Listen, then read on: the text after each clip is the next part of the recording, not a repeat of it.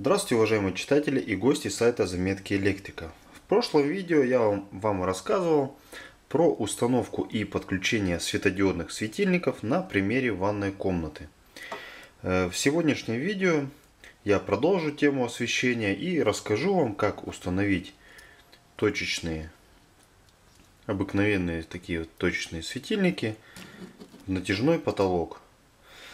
Ну, в общем, как видите, здесь разные светильники имеются. Это Китай. Продаются вот в такой вот упаковке. Запакованы в пленку. Здесь же имеется инструкция и пакет с разъемом, соединительными проводами и скобой для удержания лампы.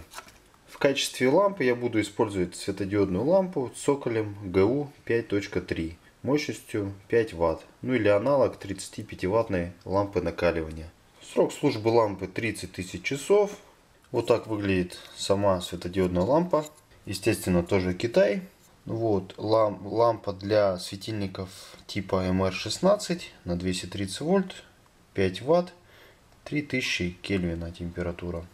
И такие вот, такая вот вилочка под соответствующий штыревой разъем GU 5.3. Устанавливать данные светильники я буду на натяжном потолке кухни. На потолке была сделана разметка места установки светильников, проложены соответствующие кабели и установлены закладные платформы диаметром 65 мм. Затем было смонтировано здесь 3D полотно, то есть два натяжных полотна. В местах расположения закладных наклеены термокольца и прорезаны отверстия, через которые выведены кабели для подключения светильников. Напомню, что термокольца необходимы не только для механической защиты от расхождения полотна, но и для защиты от воздействующего на него тепла от светильников. Хотя в нашем случае со светодиодными лампами это полотну не грозит, так как температура нагрева светодиодных ламп и светильников обычно не превышает 50-60 градусов. Ну, ради интереса я могу даже это потом измерить с помощью своего тепловизора. Помимо кухни, светильники будут устанавливаться в зале. В гостиной будет две группы освещения. Первая группа это в центре будет люстра. Здесь будет перфорация, натяжной потолок в виде перфорации, ну, нарезной или там 3D потолок, как его называют. И по окружности вокруг перфорации будет вторая группа освещения. Это потолочные точечные светильники.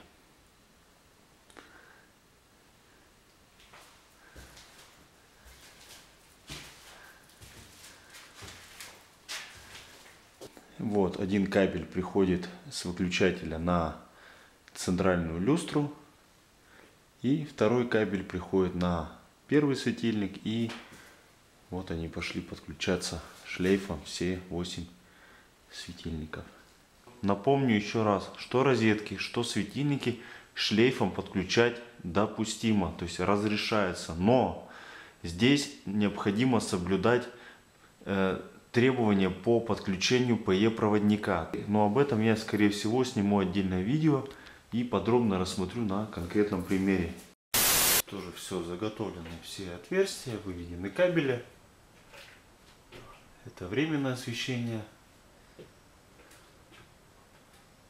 И часть светильников, которые вы видели на видео черного цвета, будут установлены в коридоре такой вот длинный коридор.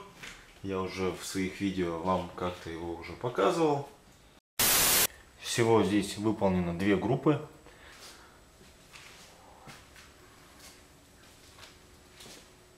На потолке выведена первая группа 9 светильников в виде змейки.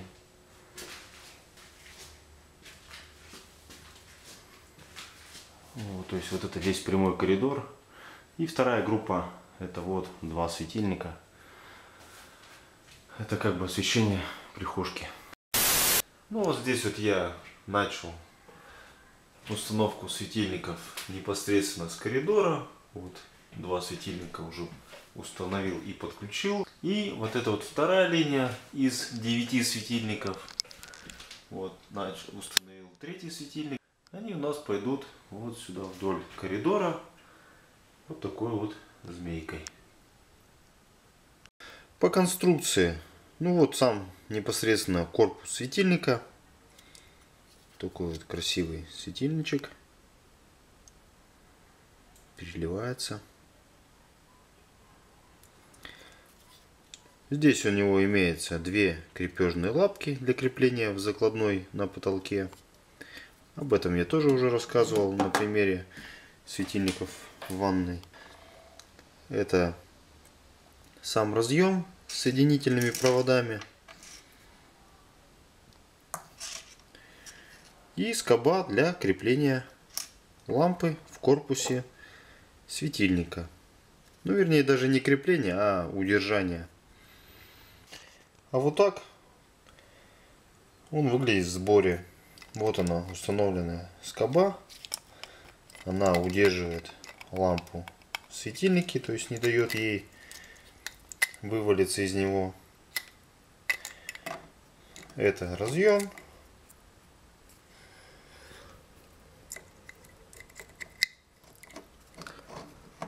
И соединительные провода. Вот я уже говорил, тип колбы М16, колба матовая у лампы, цоколь ГУ 5.3, мощность 5 Вт, аналог 35 ваттной лампы накаливания. Э, ток нагрузки 0,043 ампера, цветовая температура 3000 кельвина, световой поток 350 люменов, индекс цветопередачи 70, угол рассеивания 100, не демируемая лампа Срок службы 30 тысяч часов. Гарантия 2 года. Главное это сохраняйте всегда чеки. Ну, насколько правдоподобны вот эти технические характеристики, это можно уже будет увидеть только по факту, то есть измерить освещенность той же кухни, зала, коридора и сделать какие-то выводы о соответствии данной лампы заявленным характеристикам. Схема подключения светильника очень простая. Нужно всего лишь подать напряжение 220 вольт на вот эти вывода. Разницы нет, куда подавать фазу, куда подавать ноль. Светильник в любом случае будет работать. На кухне будет установлено 7 светильников, то есть раз, два, три, четыре, пять 6, 7. Все светильники будут соединяться между собой шлейфом. Подключение светильников я буду осуществлять с помощью клем Вага серии 2273. Хотя все же предпочтительней использовать клеммы 221 или 222 серии вот с такими открывающимися рычажками. Эти клеммы мне больше нравятся. Выводы у светильника выполнены гибкими проводами, поэтому для подключения их в клеммы ВАГО я буду использовать втулочные наконечники NSHVI соответствующего сечения. Сечение здесь у проводов составляет 0,5 квадратных миллиметров. Ну, соответственно, и наконечники NSHVI я буду использовать сечением 0,5. Для обжима втулочных наконечников я пользуюсь своими клещами ПКВК-6 от КВТ.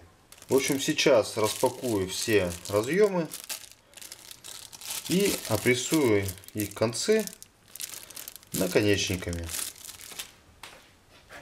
Вот получившийся результат. Все концы я прессовал с помощью втулочных наконечников.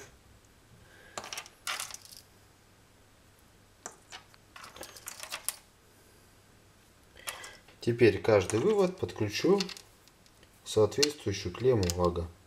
То есть вот сделаю такие заготовки. Так, ну все. Все разъемы у меня готовы. Теперь можно приступать к установке и подключению светильников непосредственно уже на потолке. Подключил и установил все светильники.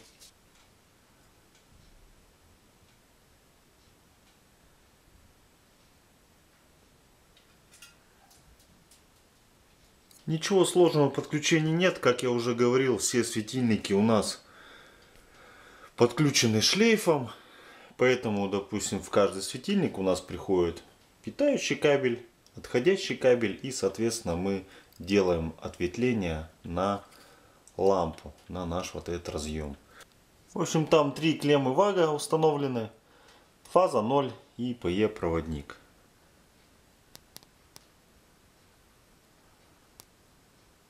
То есть светильник у нас тоже ставится элементарно.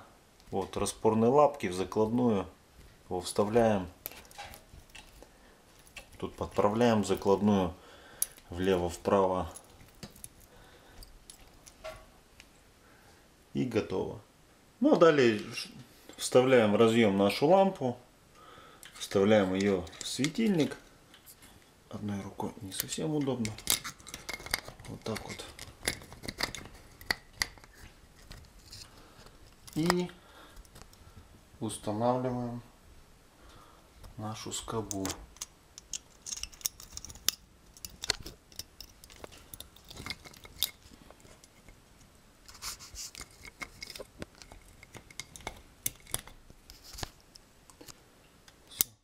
Вот скоба у нас установлена. Вот и все.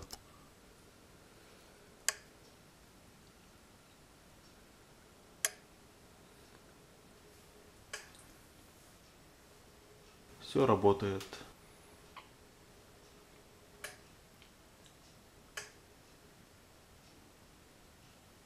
Вот аналогичным образом были подключены светильники и в зале. Они точно такие же.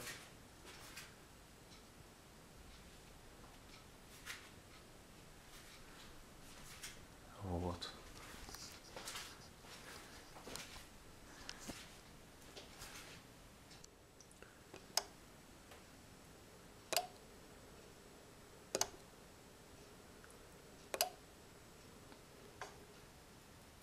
Вот так все выглядит.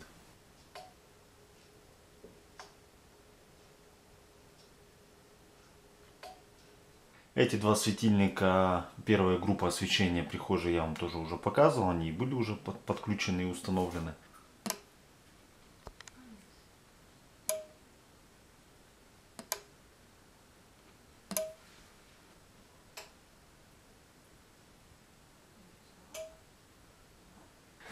И здесь вот у нас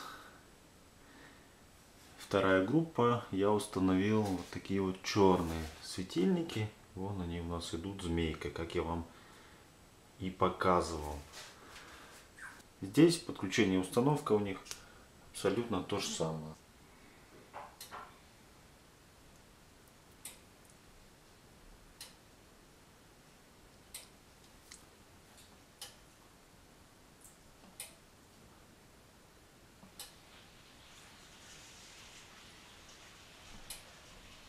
Сегодня я вам покажу небольшое видео, а вернее не видео, а ускоренную работу по установке двух светильников в натяжной потолок. Итак, поехали!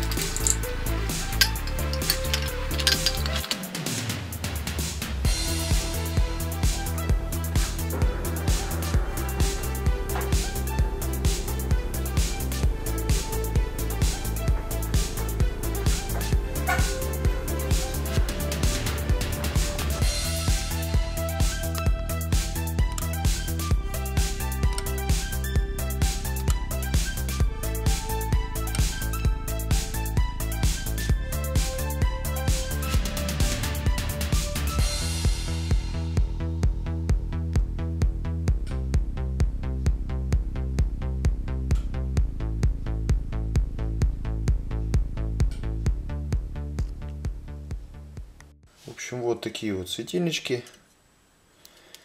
Я их отключил, разъемы. И сделал подготовку. То есть, вот это разъем драйвера. Сам драйвер. И я прессовал все концы. То есть, сделал вот подготовку. То же самое сделал и по разъемам. А, соединил уже выводы на лампу и на драйвер с помощью ваговских клемников 221 серии. А, сюда что еще будет приходить? Фаза приходящая, фаза уходящая. Один будет в зере.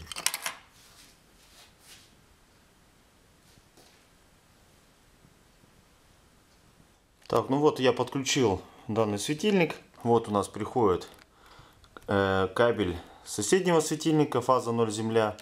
Э, и уходит фаза 0 земля на следующий светильник.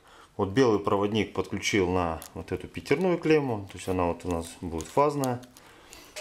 А, вернее, это у нас нулевая, вон он синий видно. Это у нас фазная клемма, то есть пятерная. И вот это у нас двойная вот это, вот это у нас подключаются PE проводники. Сам драйвер креплю на стяжку хомут, вот сюда вот, чтобы он там не болтался за потолком. И вот у нас осталось подключить разъем подсветки светильника и непосредственно лампу светильника. Вот лампу я подключил на разъем.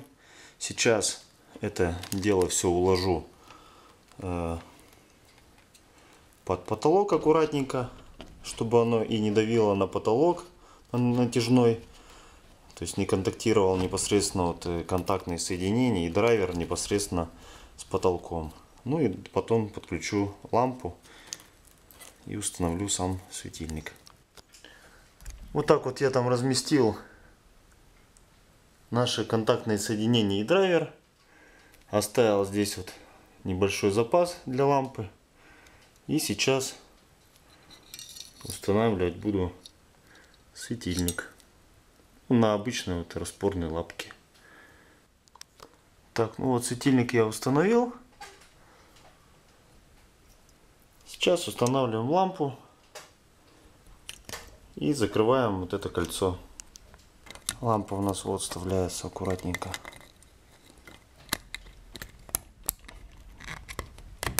Светильник и затем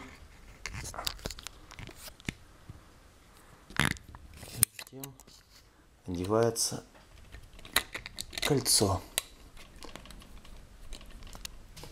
Все, готово. Вот так выглядят установленные светильники в спальной комнате. Вот эти вот светильники со светодиодной еще собственной подсветкой. То есть вот.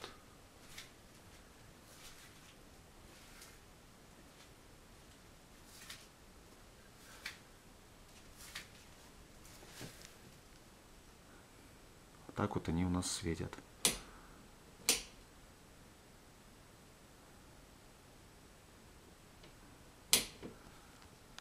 В принципе, на этом все. Кому понравилось видео, то обязательно ставьте лайки, обязательно подписывайтесь на канал. Впереди будет еще много всего интересного. Также напоминаю, что у меня есть очень интересный и открытый чат в Телеграме. Там обсуждаются ежедневно очень интересные вопросы. Ведется постоянные диалоги друг с другом между специалистами и не только, и с новичками, и с начинающими. Э, также подписывайтесь на мой инстаграм-канал, потому что очень много я не выкладываю маленьких фрагментов, маленьких э, сюжетов на YouTube. Я выкладываю туда в сторисы, либо в обычную ленту в публикации. Поэтому, чтобы не пропускать самое интересное, переходите и подписывайтесь на мой инстаграм. На этом все. Всем спасибо за внимание. До новых встреч.